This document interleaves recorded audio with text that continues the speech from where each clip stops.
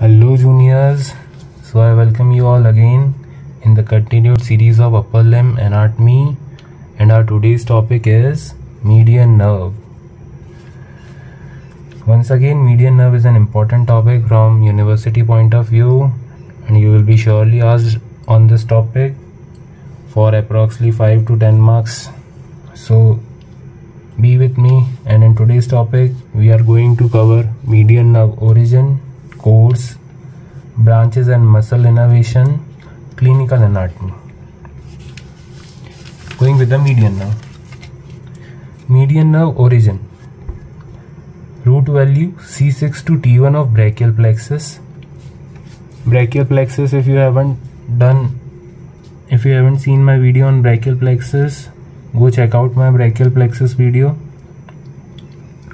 continuing root value c6 to t1 so it corresponds to c6 7 8 and t1 lateral and medial cord combine together to form this median nerve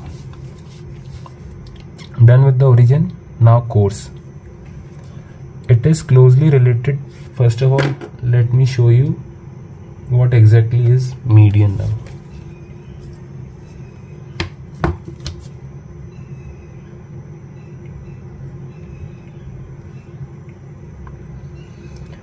so this is the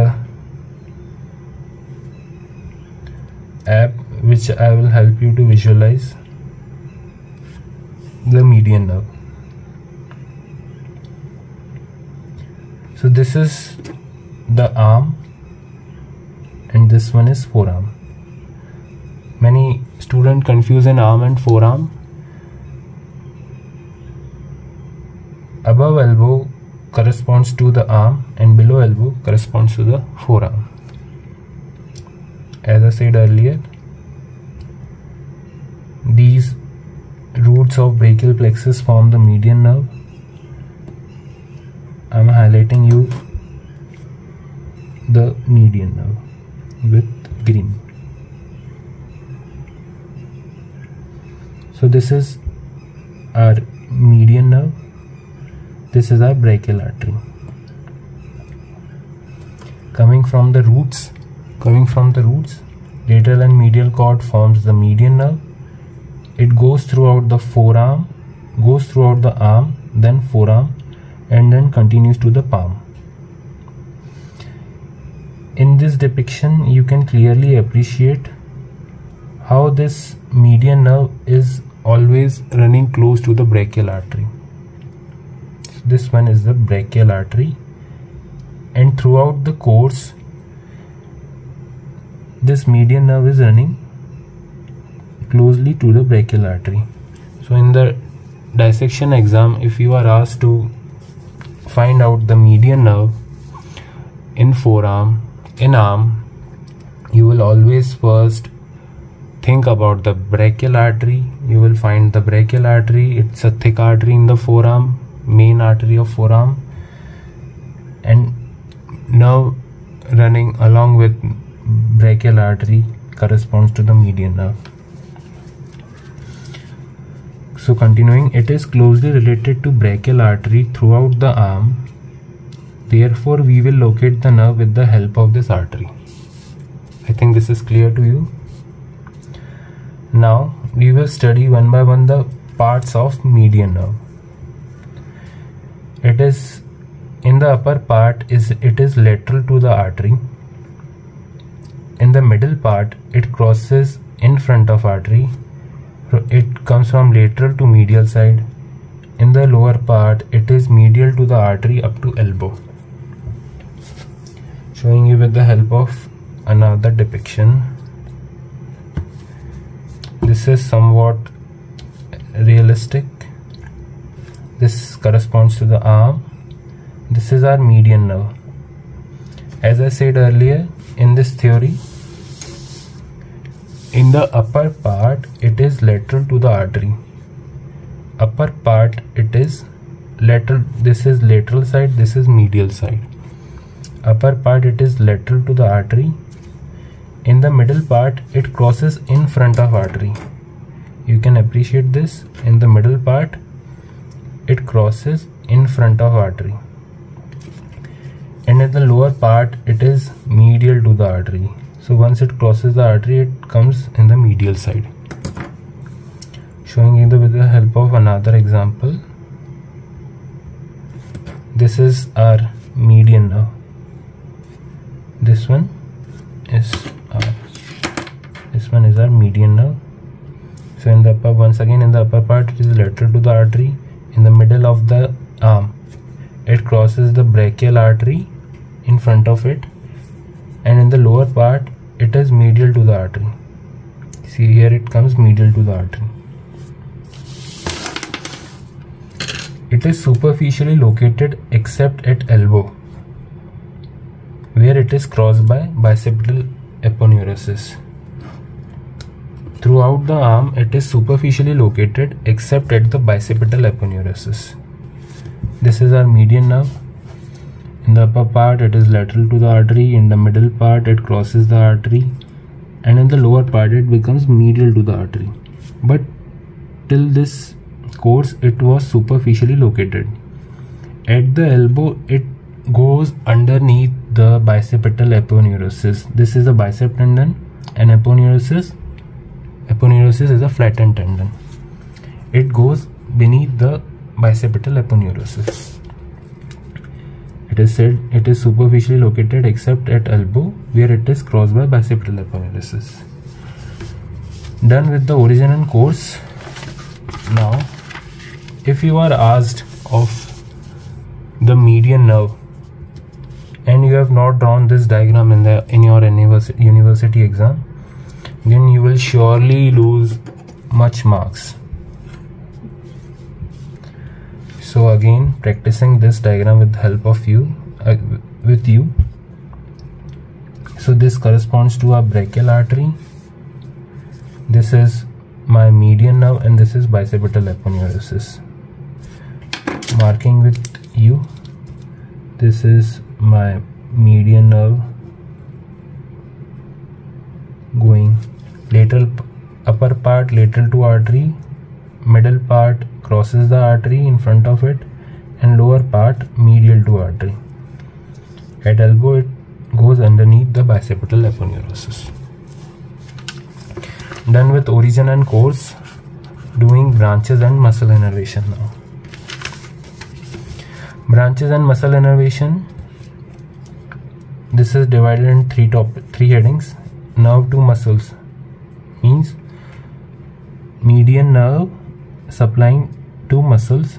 This we will uh, do it right now in a moment. Secondly vasomotor nerve to the uh, to the bra brachial artery. So vasomotor nerve to the brachial artery i have depicted this.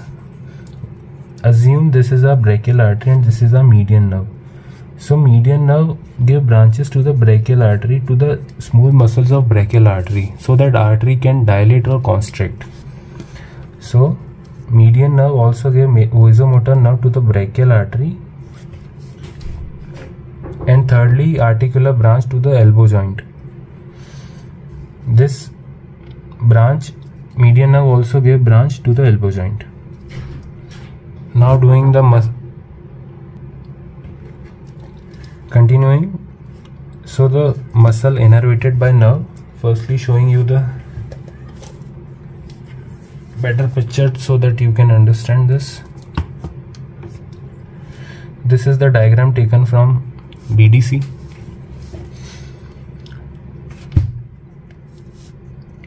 starting from above medial root and lateral root forms the median nerve as you can see this is medial root this is lateral root forms the median nerve.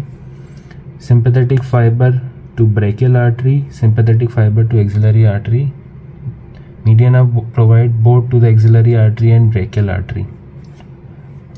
So that they these arteries can dilate or constrict whenever needed. Now it this vasomotor nerve to the brachial artery done articular branch to the elbow joint this is the branch this is given off at elbow joint now covering the muscles one by one So for remembering the muscle innervated by median nerve, you should remember that median nerve is the prominent nerve of arm and forearm. So the muscles of so the muscle so the flexor muscles mainly will be supplied by median nerve of forearm. So firstly the pronator teres is supplied by median nerve. Flexor carpi radialis palmaris longus and flexor digitorum superficialis is. Supplied by median nerve. And median nerve divides at a point where it gives branch called anterior interosseous nerve. As the name suggests anterior it is anterior side of forearm interosseous that is in between two bones. So this nerve corresponds to anterior interosseous nerve. This anterior interosseous nerve gives branches to flexor pollicis longus, lateral half of flexor digitorum profundus and pronator quadratus. Done with this, now we will once you will write all this in exam then you have to depict this uh, by showing a schematic diagram. Since this diagram is too complicated from BDC I have taken this diagram from Vishram Singh. So this muscle was our flexor digitorum pollicis. You can flexor digitorum pollicis flexor digitorum profundus sorry flexor digitorum profundus. This muscle was our flexor pollicis longus flexor pollicis longus. And this muscle is our pronator quadratus pq writing denoting with pq pronator quadratus this muscle is our pronator teres pt this muscle flexor carpi radialis f c r. This is our palmaris longus. And this corresponds to flexor digitorum superficialis. Pronator teres flexor carpi this is our median nerve. Median nerve. And as i said it goes beneath the now this is our flexor retinaculum of palm.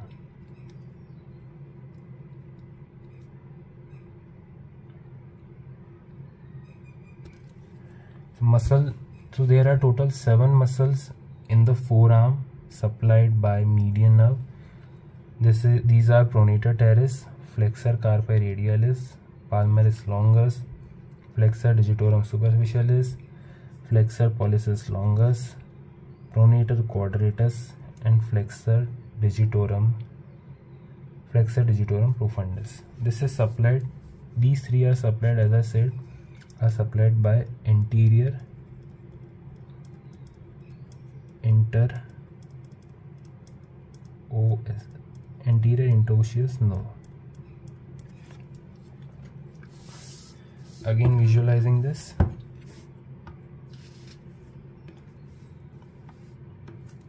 Till the, here pronator nerve pronator teres flexor carpi radialis. Palmaris longus. Flexor digitorum superficialis here median nerve gives branch called anterior interosseous nerve this anterior interosseous nerve gives muscle innervation to flexor pollicis longus this one flexor digitorum profundus, flexor digitorum profundus and pronator quadratus. So by drawing this schematic diagram in exam, you will surely get a higher number than your companions done with branches and muscle innervation.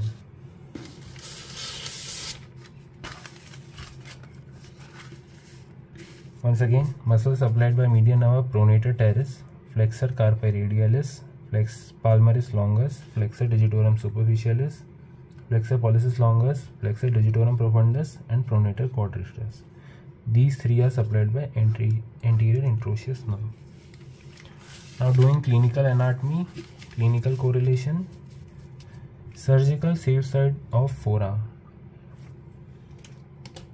showing you with the help of my model. So median nerve goes from the gross grossly median nerve is in the medial side of arm mainly. And from here it goes elbow and up to here. I think you can see this. This is the medial side of arm so clinical correlation is related to this point. Lateral side of the anterior aspect of the forearm is considered to be safe side by the surgeons why this is because median nerves run mostly medially and any trauma to this nerve will affect large number of muscles